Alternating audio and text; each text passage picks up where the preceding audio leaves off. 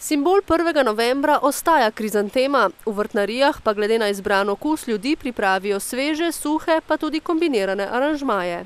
Ker določen procent ljudi kljub temu, tudi če bi bilo slabo vreme, čeprav napovedujejo, da bodo otoplitve, um, kupijo za dan mrtvih oziroma za 1. november tudi sveže aranžmaje. Vse so lepe, samo če ne bo zima. Bom pogledala, ne, mislim, tele naprimer zelene so meni zelo všeč, tele krizanteme. Pa kakšne večje ali manjše? Tu imam skoraj manjše kot velike, ne, tako kot velike se hitro usipajo, te pa bolj držijo, ne. Ja, vse so, prvač je izbira.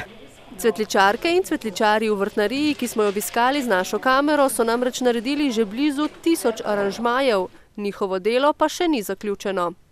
Delo je, ko bi rekla, naporno, ne, predvsem zaradi tega, ker je eno in isto skozi, pa da si skozi na nogah, ne. Vsak aranžma je po svoje lep, kljub pestri izbiri pa imajo kupci še vedno svoje želje in naročila. Na to smo že navajeni, ljudje imamo veliko želja, veliko kombinacij iščejo, tako da to sploh ni problem.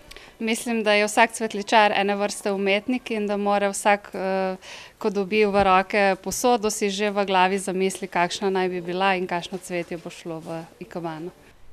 Delno se pri izbiri, pravijo v vrtnariji, pozna tudi recesija, cene aranžmajev pa se gibljejo od deset do nekaj deset ali še več evrov.